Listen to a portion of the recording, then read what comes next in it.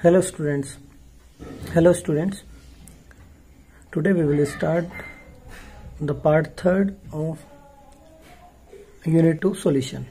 In this part we have to study about the colligative properties.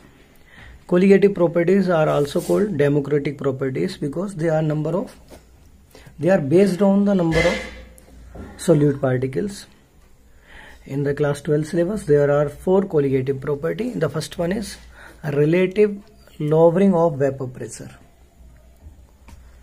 The derivation of this property is here. We get the formula p naught 1 minus p1 upon p naught 1 is equal to w2 upon m2 into m1 upon w1 by this formula we calculate the molar mass of the solute the second colligative property, elevation in boiling point. Similarly, by using this property, we find the molar mass of the solute as well as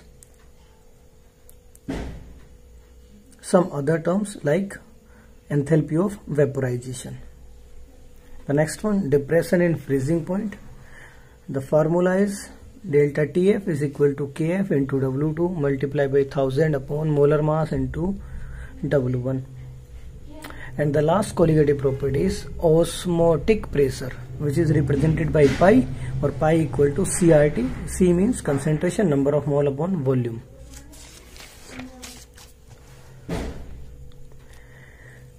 Now here are some theoretical part like isotonic solutions hypertonic solutions and hypotonic solutions and reverse osmosis that is represented by RO the next topic is abnormal molar mass and this topic is not the part of the syllabus of 12th for this year. So this unit contains only the syllabus up to the reverse osmosis. Now these are the topics questions based on the part third. One mark questions two mark questions here two mark questions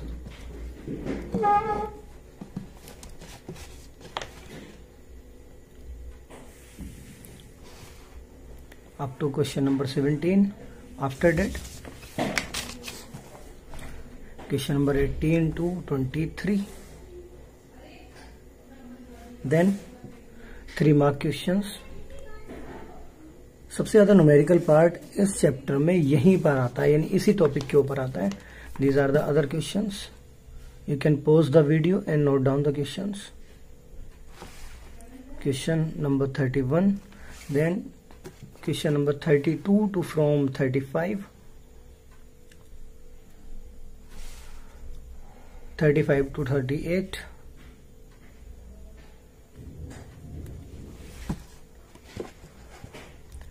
39 to 45 these are the questions based on the part third. Here we will complete the unit 2 solution. In next class we will continue. Next unit electrochemistry